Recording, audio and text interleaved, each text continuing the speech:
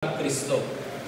Apan aron ma-appreciate nato kung kinsa kita karon o unsay atong danakan si Pablo gahisgot sa verses 1 to 3 kung kinsa kita sa wala pa kita diha kang Kristo.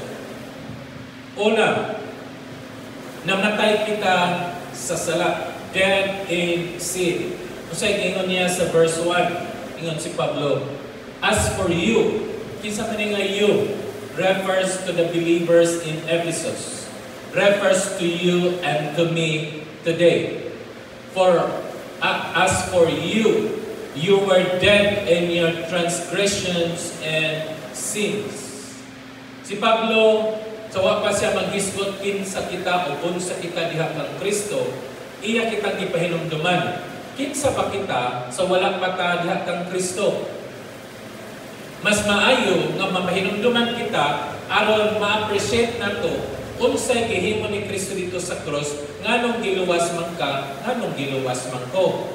So ingon si Pablo sa unang panahon kita namatay diha sa sala sa atong pagpakasala. Transgressions bot pasabot missing the mark. Sala bot pasabot disobedience. Mao kini ang gihimo ni Adan o ni Eva dito sa Garden of Eden. Miyon ang Dios makakaon kamo sa tanang mga prutas gawas sa usa na naa sa tunga kay kun inyo kanang kanon mamatay gayud kamo. Mao ni gipahinumdom ni Pablo kanimo ug kanako. By birth we are sinners. Diha sa atong pagkatao, kita mga makasasala. Ug matod ni Pablo, we are dead in sin. The question is, asang napita namatay ang tao? Sa gilabag ni Adan ug ni Eva ang kasubuan sa amahan dito sa Harden sa Eden. Namatay ba sila physically at the moment they disobeyed God, the moment they ate the fruit? Wala. Namatay ba ang ilang kalag? Wala. Namatay ba ang ilang espiritu nga gihatag sa Dios? Oo.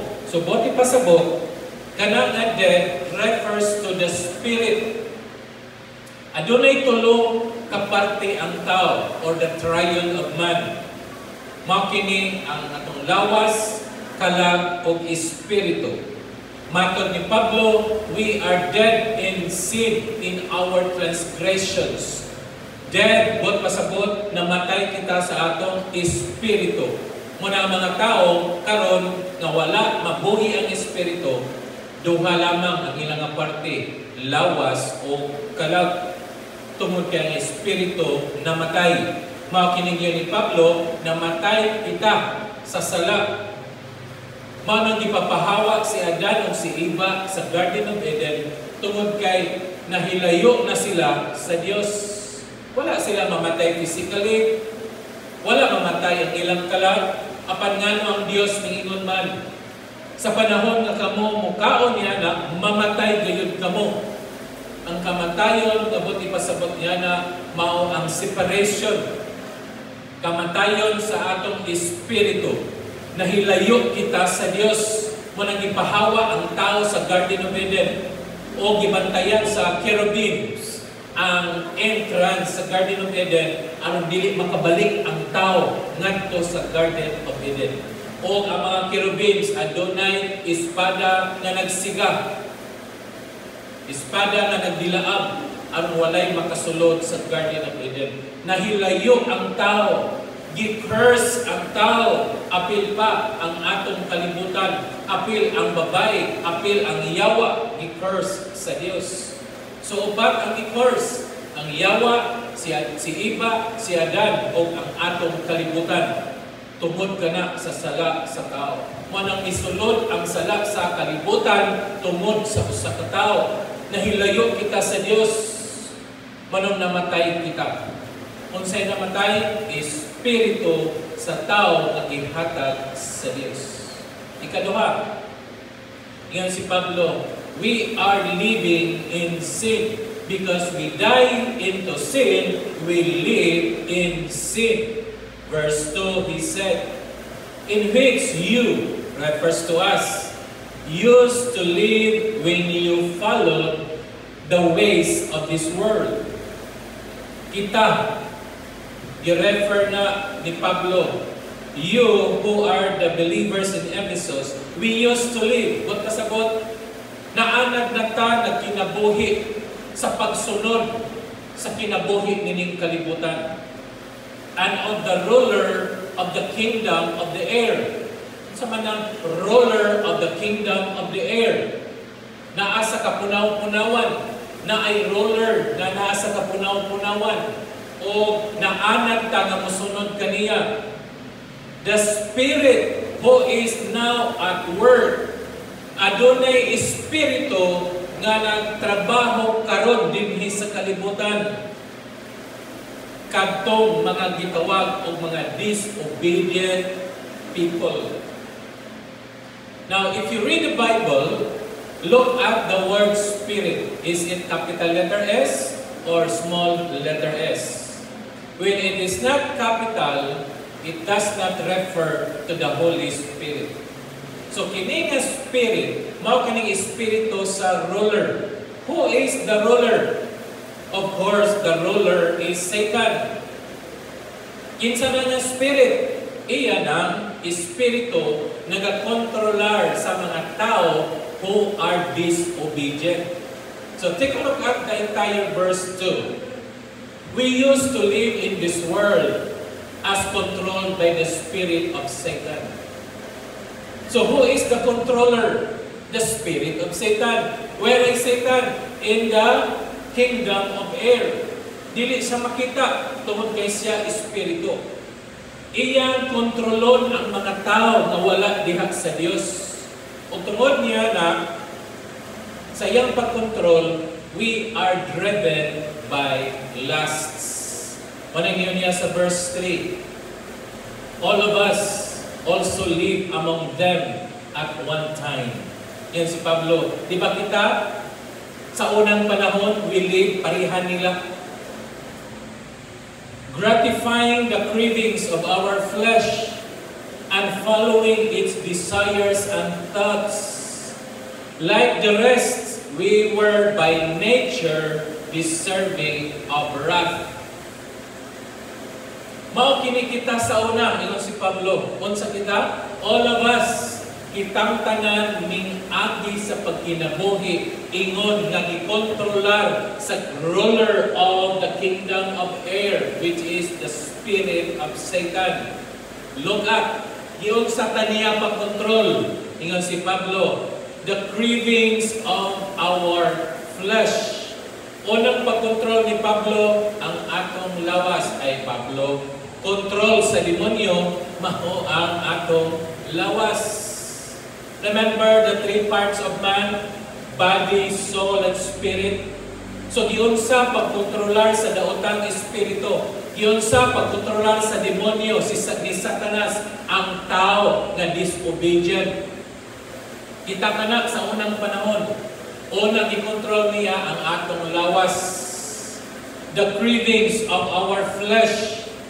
Kung sa may craving sa atong lawas, Unsa may gikinahanglan sa atong lawas? Unas tanan, the number one sin is sexual sins.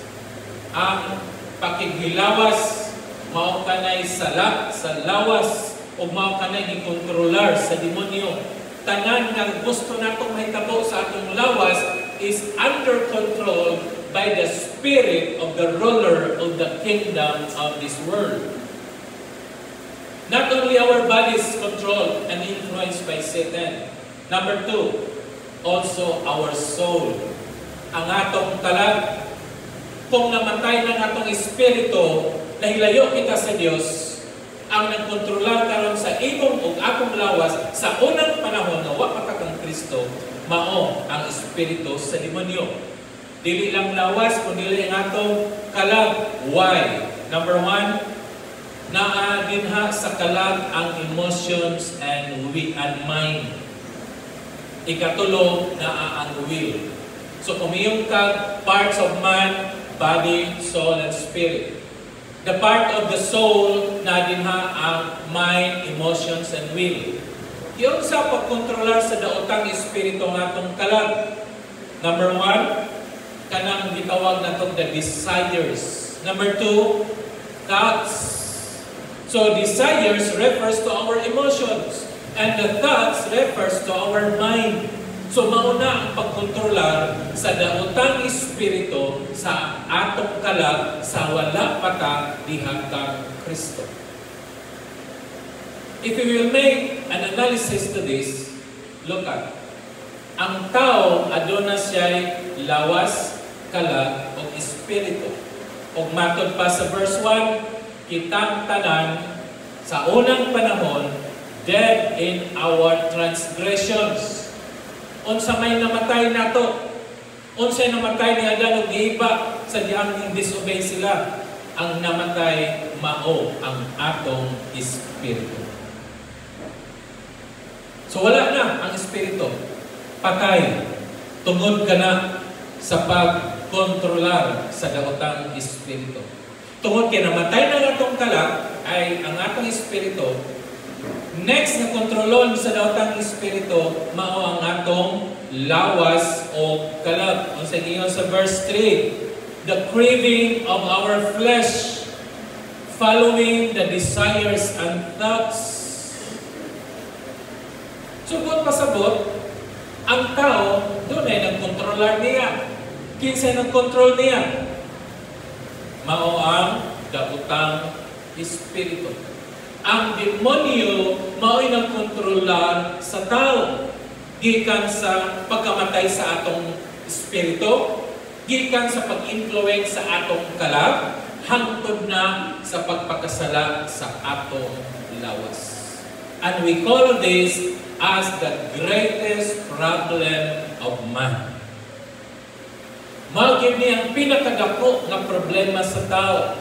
Kay namatay pang iyang espiritu, gikontrolar pa sa demonyo iyang kalag, pati ang iyang lawas. Therefore, unsaon man sa tao pagsulbad kining maong problema.